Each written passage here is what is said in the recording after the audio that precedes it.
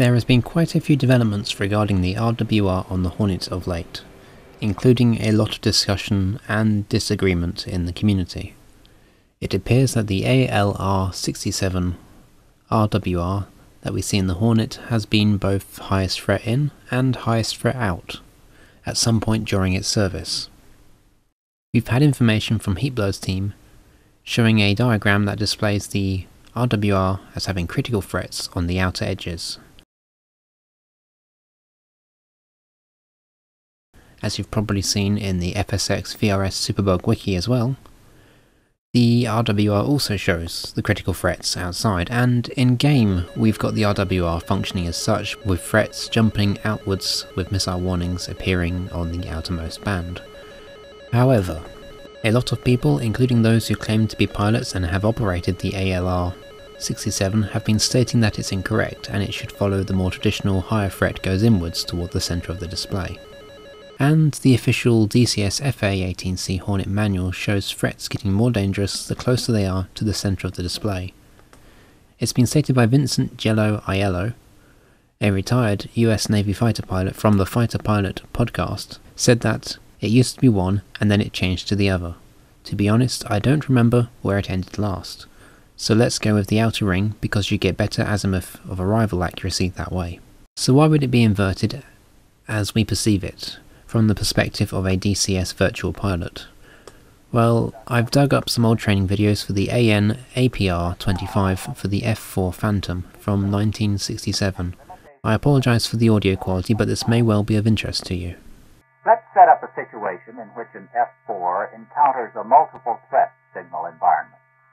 See if you can use the controls on the panel here to clear this scope enough to find the azimuth of the fan song signal, which at present is lost in this massive scope.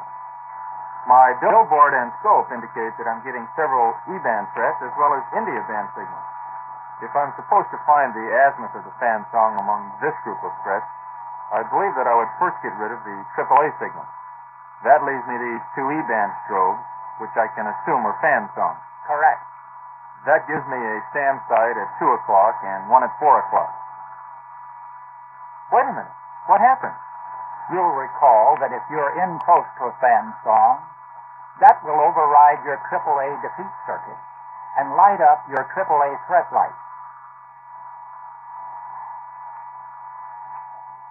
One of those fan songs has gone to high PRF, and he's turned on his guidance beam. See that strobe open? It tells me which SAM site is getting ready to launch a missile. That red warning indicates the launch process is underway or that a SAM may already be in the air. All I can say, sir, is that if this were to happen in real life, I certainly hope that I started all of the proper defensive tactics long before this. As you saw in this demonstration, the higher a threat or signal strength, the further the line creep towards the outward edges of the display.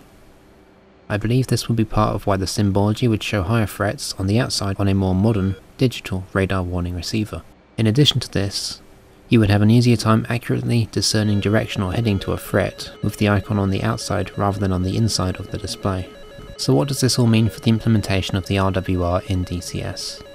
Matt Wagner got in touch and has stated, the band logic has changed over the years based on software version, given that most of the public information is in regards to the critical band being the inner band, we'll probably move to this at a later point. As Matt Wagner stated, the critical band is going to be subject to possible change in the future. That may result in the DCS simulation of the Hornet having the ALR 67 switched to reflect what's written in the current manual, with the greatest threats moving inwards on the display. As both sets of logic have been used in the RWR, we cannot be certain which version they will go for in the simulation ultimately. I'm certain they want to bring us the most accurate simulation possible, even if that means doing something perceived by the people as wrong. As it stands right now, the manual states threats are greater in the center, but the simulation shows threats being greater on the outside.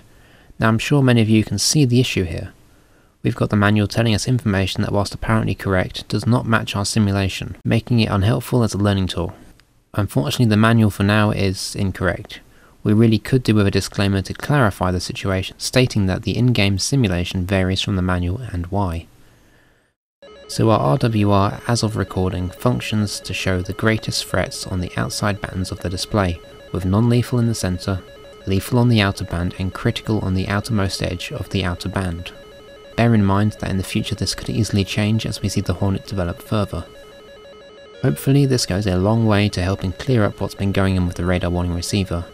We will have to wait and see what happens with future developments.